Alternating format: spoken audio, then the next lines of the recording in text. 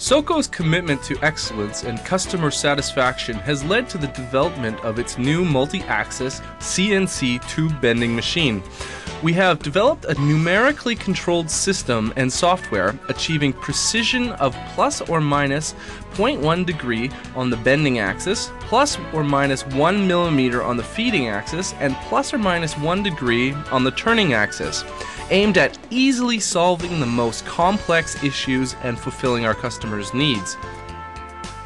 The SB25 CNC utilizes a user-friendly interface for easy operation. The operator may use our touch screen or file and system settings to customize each bend.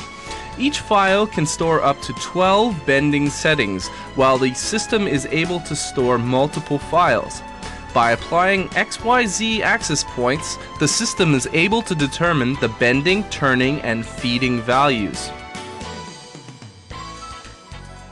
During each bend, the operator can choose from 8 different action sequences, while each sequence may also be set with 8 different speeds.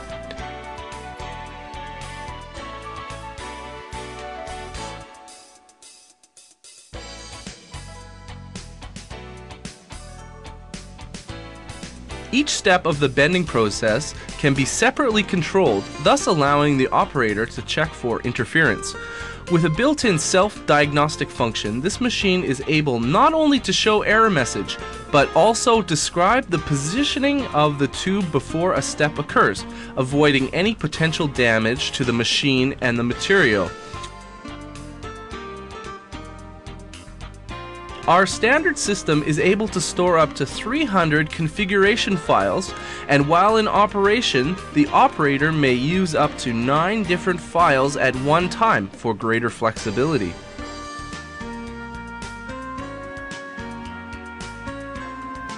SOCO also offers the IPC version, which uses a touchscreen system connected to an industrial computer.